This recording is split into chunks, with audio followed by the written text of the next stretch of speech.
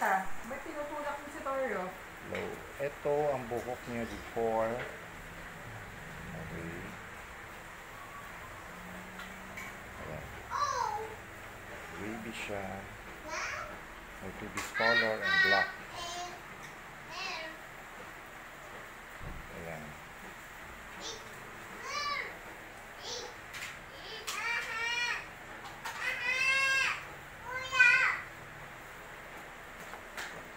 Yung kulay na to, gusto mo ganito pa rin o mas magla-lighter pa rin to?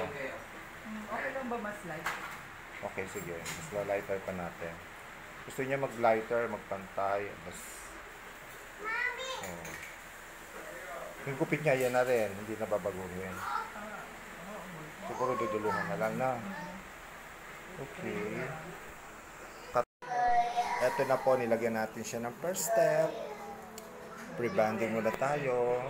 So, matatapos na siya after 30 minutes. Pabalawan na siya at saka paplansya niya. And second is coloring na tayo. So, maghintay lang tayo ng 30 minutes.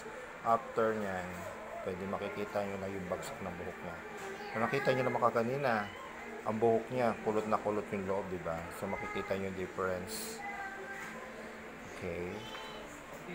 Cut muna tayo at may, may continuation pa yan. Ito na, binalawan na natin siya. And then after, paplansyahin na siya, patutuyuin lang natin. So makikita nyo naman, wala nang wavy sa loob, di ba? Oh. Yung katulad ka ganina, di ba? Waving wavy siya. So ngayon, paplansyahin na siya. Then after nito, kukulayan na natin. Mamaya na uli ang continuation. Yan po. Tapos na natin siyang blow dry, paplansyahin na natin siya. Makita nyo naman ang difference, di ba? Hindi pa siya napaplansya pero bagsak na siya. Makintab na siya. Pero, siyempre, mas makikita natin yan pag pinalansya na siya. So, yan po yung resulta. No? Paplansyahin na natin siya ngayon. Then, okay. Ito, last na plansya natin. lengkap di pak.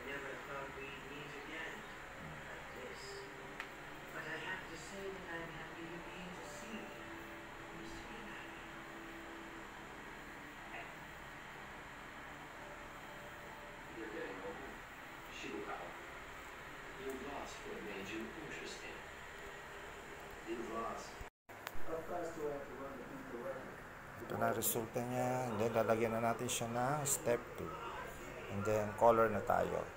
Yan ang result. So, di ba makintab siya. Wala pang treatment yan. Mamaya pa. Pero makintab na siya. So, ito po ang Nutra Step 2. So, nilagyan na natin siya. Then, after nito, sa coloring na tayo. Plus na yung Brazilian. So, 15 minutes siyang ibababad. And then, after that, makukulay na tayo. See you! Coloring na tayo. So, after step 2, color na po tayo. And then, last is Brazilian. Apply na natin siya ng kulay. Coloring na po tayo. Medyo matataas, papantayin lang natin.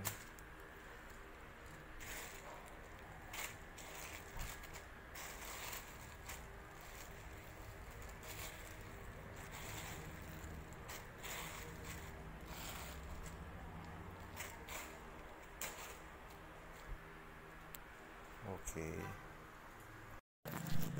Ayan, Brazilian na po tayo. Ito ang pinaka-last. So, patutuyin lang natin siya. And then, makikita nyo ng result kung ano ang kinalabasan na. Ayan na, nakita nyo, di ba? Oh, ganda ng kulay. So, makikita nyo ng final result. Before and after. Yan na po. So, to final final plancha na lang. Ano ba na kumain ng kanin? Oh. Ang ganda.